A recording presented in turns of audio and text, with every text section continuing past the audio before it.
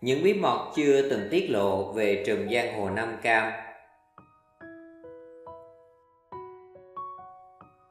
Kỳ 20 Nam Cam mượn tay Dung Hà triệt tiêu đối thủ.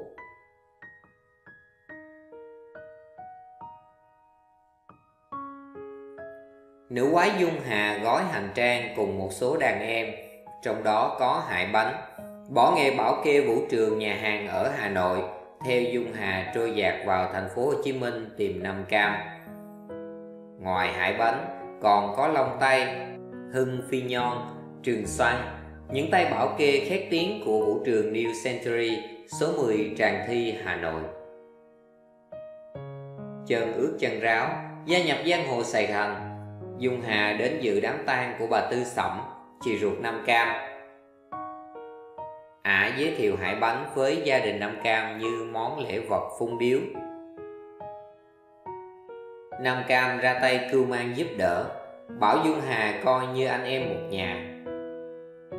Dung Hà đề nghị muốn mở một xới bạc để kiếm sống. Nam Cam cười bảo chuyện nhỏ và cắt cử một tay chân thân tính là Thảo Ma sang làm bảo kê cho xới bạc của Dung Hà. Dung Hà hơi ngạc nhiên trước vẻ hào phóng của Nam Cam vì dẫu sao lĩnh vực cờ bạc cũng là chỗ hái ra tiền của y. Không những vậy, Nam Cam đưa cho Dung 30 triệu đồng để mở quán ba cà phê làm sòng. Nhờ có các chân rết là giang hồ đất cảng đã thành danh và mối giao tình với Nam Cam từ trước nên chặng đường nam tiến của Dung khá suôn sẻ. Sòng bạc của Dung Hà ở đường Bùi Thị Xuân được Thảo Ma, chuyên gia tổ chức sòng bạc, chiêu tập các con bạc do Nam Cam đến ăn thua tại đây. Ngày đầu tiên, tiền sâu thu được 70 triệu đồng. Sau mấy ngày đầu, sòng bạc này thưa dần vì con bạc quen thuộc đi chơi ở sòng của Cường Hiếp. Dung điên tiết liền bàn với Nam Cam triệt tiêu sòng của đối thủ liền nhận được sự đồng tình. Khi kế hoạch thanh trừng chưa tới, Thì Thảo Ma đã đến báo cho Dung tin là phòng cảnh sát hình sự dò hỏi. Nam Cam tới quán cà phê, Phỏng đoán Cường Hiếp chính là thủ phạm giấu mặt chơi Dung Hà trước. Nam Cam cho biết đã chi cho Hải Bánh 10.000 đô để chơi sát ván sòng bạc của Cường. Sau đó sẽ mở cho Dung Hà một sòng khác bên quận 8 Nghe tin của Nam Cam. Dung Hà hồ hởi cảm ơn, Nhưng thực chất ẩn sau ân nghĩa ấy Là động thái Nam Cam đã dùng để mượn tay Dung triệt tiêu cường hiếp. Vậy là, được lệnh của Hải Bánh cùng hai tên khác Đi ba chiếc xe gắn máy mang theo hàng nóng tới sòng bạc của cường hiếp. Hải rút súng khống chế, Tăng thêm Thụy Uy khi đồng bọn chém tới tấp các con bạc. Phi vụ thành công Không tên nào dám chống trả. Lại điều Một gã giang hồ đất biên hòa Do ham ăn thua hơn là tổ chức sòng bạc Bắt đầu lùi bại. Số tiền sâu thu ngoài nuôi gái, tiêu xài Thì Lai dành phần lớn trực tiếp sát phạt trên chiếu bạc Nên lún dần vào vòng xoáy nợ nần. Lai đi tìm Cường Râu một ông trùm giang hồ Nam Định để xin Hùng Hạp làm ăn. Bằng kinh nghiệm đại mình Cường thâu dần cơ ngơi của Lai theo kiểu tầm ăn dâu. Nhận ra chân tướng của chiến hữu, Lai ngã ngửa người vì ngỡ ngàng biết mình giờ chẳng khác gì tên tay sai được Cường đặt đâu ngồi đó Và nhận một số tiền vừa đủ để sống. Liệu khó bề đánh đổ được thống soái Nam Định? Lai lập tức xuống Sài Gòn tìm Nam Cam. Nghe rõ nguồn cơn, Nam Cam vỗ vai Lai an ủi Và hứa sẽ giành lại những gì đã mất cho gã. Một hôm, Nam Cam cùng Dung Hà ăn tối Tại quán cơm niêu của cô em kết nghĩa của y.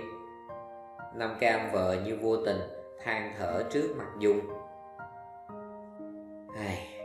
Lúc này à, bọn Nam Định bắt đầu lấn sân vào trong này rồi làm ăn càng lúc càng khó. Cứ mà mạnh ai nấy làm kiểu này, có nước chết chùm cả lũ. Dung tỏ ra trung thành và có thực lực. Cái bọn Nam Định đó có là quái gì đâu anh Năm Anh để đó em tính cho Đâu vào đấy thôi. Bấy giờ, Nam Cam mới rủ rỉ trút bầu tâm sự Về nỗi lo xuất phát từ ban nhóm của Cường Râu.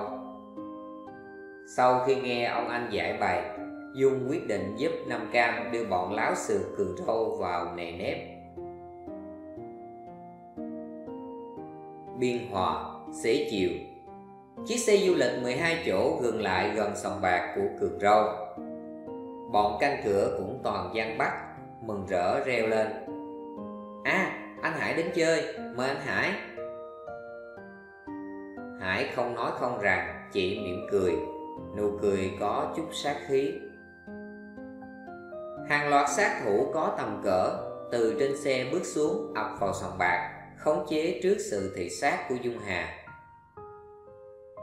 Hải vung vẩy trên tay khẩu súng xanh đứt thép Khiến những cái đầu nóng của ban Nam Định ngay lập tức hạ nhiệt. Hậu già, người quản lý đon đã mời chào. Dung hất hàm. Một tên sát thủ đẩy hậu vào sát tường Chém luôn mấy nhát cảnh cáo. Hải nói bằng giọng dịu cợt. Nói cho thằng Cường biết, Có chị Dung ghé chơi nha Không tên nào dám thái độ, Coi như ban Cường Râu hoàn toàn thất thủ. Bằng những mối quan hệ trong giới giang hồ, Đã giúp Cường Râu xác định được ai là người bật đèn xanh cho Dung đến gỡ bản số sòng bạc của mình. Đụng vào Dung là điều không thể vì vượt quá khả năng của băng Nam Định. Vả lại, sau lưng Dung lại còn có gốc cổ thụ sẵn sàng biến cái to như núi thành hạt bụi, nâng cái nhỏ như cọng rơm cũng thành chuyện tại đình. Thôi thì chi bằng cột ai nấy thở.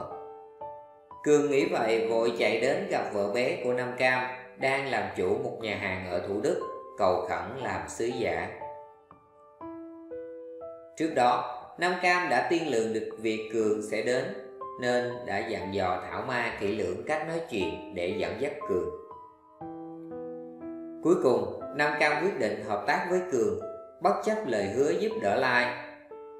Để trắng an, Nam Cam thuyết phục Cường tăng chút đỉnh quyền lợi cho Lai Và tiếp tục sử dụng hắn vào công việc đối ngoại. Vậy là chính sự ngu xuẩn tham lam của Lai Cộng với lòng ích kỷ nhỏ mọn của Cường Nam Cam đã chơi trò bắt cá hai tay để khống chế, sử dụng cá hai như một loại vệ tinh cấp thấp.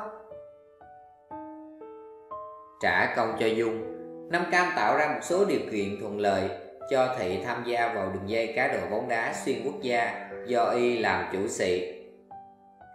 Trương Hiền Bảo, con trai lớn của Y giữ vai trò cầm chịch. Dĩ nhiên, mức độ tham gia của Dung được khống chế ở tầm vừa phải và thông tin ả có thể nhận được bị giới hạn đến độ đủ an toàn cho y và đồng bọn. Hết kỳ 20 Cảm ơn các bạn đã quan tâm lắng nghe. Xin mời các bạn tiếp tục theo dõi series Những bí mật chưa từng tiết lộ về trùm giang hồ Nam Cam kỳ tiếp theo vào 21 giờ các ngày thứ ba và thứ bảy hàng tuần. Xin cảm ơn mọi người. Người đọc Ý Trần.